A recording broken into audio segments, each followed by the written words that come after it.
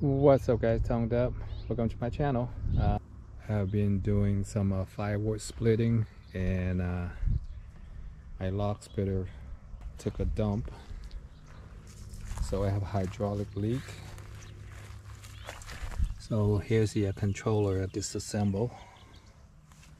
And basically there is uh, a coupler right there the mount the uh, controller to the hydraulic ram.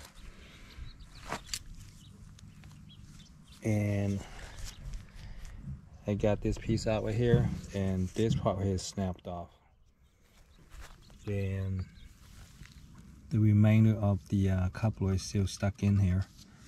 So all the weight is supported by this little coupler over here. And what happens is uh, when you constantly using it you put pressures on it or sometimes you might hit something and you could uh, cause this part here cause this coupler here to uh, snap off. And this I'm gonna give it a try and see if I can remove this uh, piece right here because this control alone by itself gonna cost me over 100 bucks for it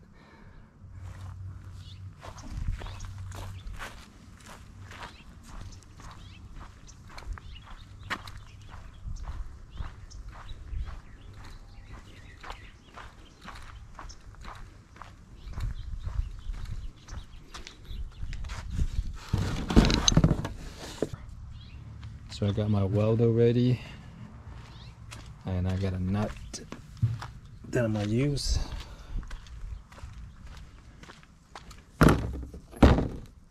So I got this nut right here.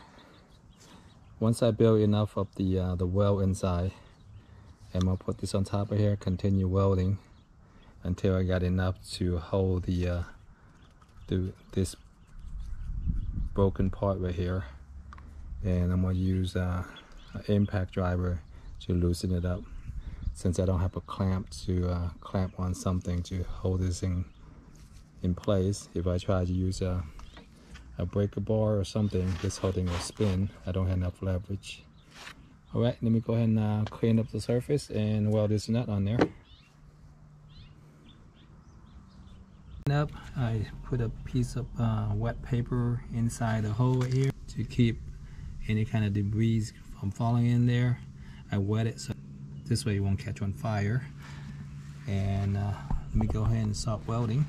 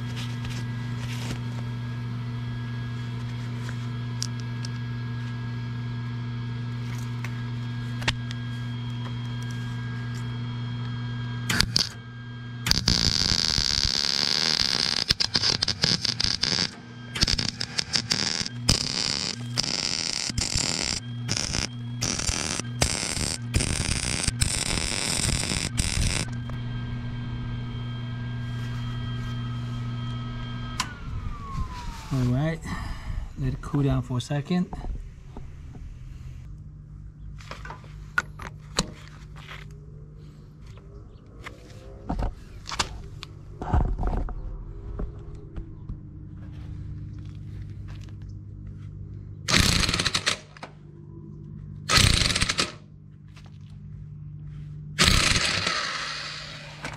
Woo!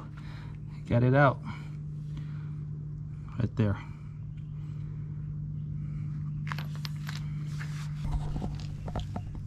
Didn't damage the threads. That's good. Take out the. See, you got a little tiny little well droplings right there. If we don't put some paper in there, it could fall in there it can cause a problem.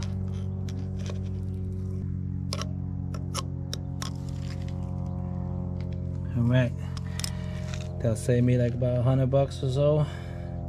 Also, I got another one over here that was uh, broken as well, and I tried to remove it using the extraction tool.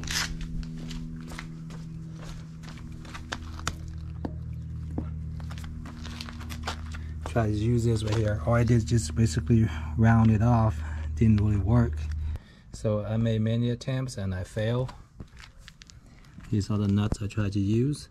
These are the, these are smaller nuts compared to the, this original one I used. Uh, so what happened is that it failed because every time I tried to weld in there, you can tell the contact you can see the weld is not as much so every one of them end up snapping off because it was not biting that good in there. And so I gave up on using a nut because if I have a bigger nut then it's no problem. I was able to keep welding it and the center be nice and big so I can attach the nut to it. Since these nuts are a little smaller uh, tried all five attempts. If it failed. So since I didn't have a bigger nut and so what happened is like uh, I keep welding it extend it out further and further and allow me to attach just another piece of pipe onto it. I just hit with a hammer and it came undone. You can see the weld here is nice and thick so it's holding on nice, nicely and that's how I got it off. If you have a bigger nut it's easier to weld inside the nut so that's why you build up more welds in there. But in my case uh, these small nuts right here didn't work so good. So this method works if you don't have uh, a big nut.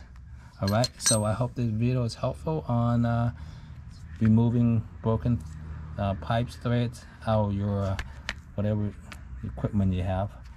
So I, I, saved that one right there and I saved this one right here as well so this is about a couple hundred bucks right there with the controllers I was able, that I'm able to reuse again. All right thanks for watching. I'll catch you next time. Bye